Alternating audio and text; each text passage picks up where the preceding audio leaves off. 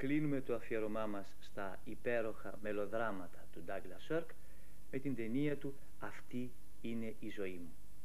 Είναι η τελευταία ταινία του Σέρκ γυρισμένη το 1959 το αντίο του στην Αμερική.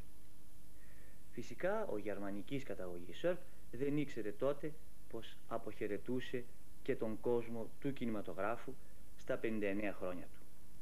Όμως το φιλμ είναι συμπτωματικά χαρακτηριστικό μιας τέτοιας στιγμής.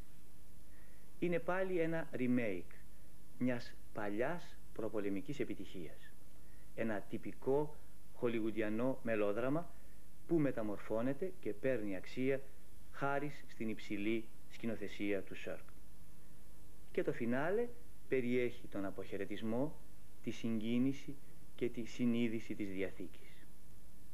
Ο πρωτότυπος τίτλος της ταινίας είναι «Μίμηση ζωής». Ολόκληρο αυτό τον κόσμο που αναπαριστάνει ο Σέρκ θέλει να τον δείξει πως είναι κύβδηλος, ψεύτικος. Μοιάζει με κόσμο αληθινό, αλλά είναι κόσμος της χήμερας, των αντικατοπτρισμών. Όπως τα λέγαμε με άλλη ορολογία, είναι κόσμος αλωτριωμένος. Και σχεδόν όλοι οι ήρωες που ζουν μέσα του είναι και αυτοί αλωτριωμένοι. Ζουν την πλαστότητα.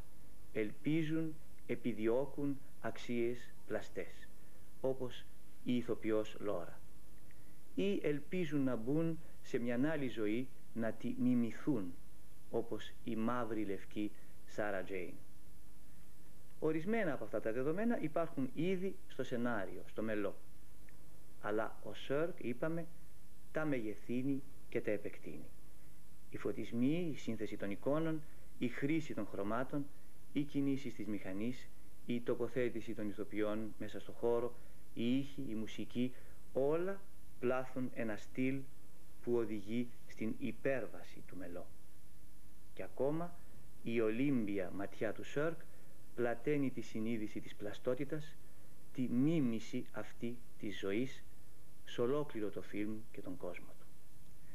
Ακόμα και το γεγονός ότι η Λάνα Τάρνερ είναι στάρ και όχι αληθινά σπουδαία ηθοποιός, ο Σέρκ το χρησιμοποιεί για να αναδιπλασιάσει την απόσταση της ματιάς του. Για να αισθανθούμε έτσι τη βαθύτερη ειρωνεία του και την κριτική του. Πρωταγωνιστούν η Λάνα Τάρνερ, η Σούζαν Κόνερ, ο Τζον Γκάβιν, η Χουανίτα Μουρ, η Σάντρα Ντι και ο Ρόμπερτ Άλντα.